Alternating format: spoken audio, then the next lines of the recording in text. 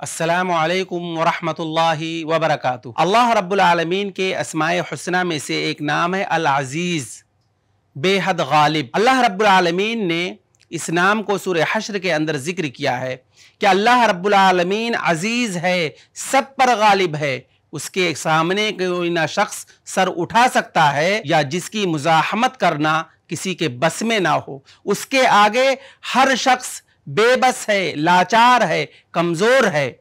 या इसी तरह से हर इज़्ज़त और हर गलबा अल्लाह की इज़्ज़त और अल्लाह के गलबे के सामने जलील हैं। क्योंकि अलाजीज का जो असल माना है, वो गलबा और सख्ती के भी आते हैं। जैसे कि अल्लाह रब्बुल ने सूर्य यासीन के अंदर कहा फ़ाज़ना बिसालिसिन और एक मकाम पर कहा वज़नी फ़िल ख़िताब। अल्लाम वरहमल वर्का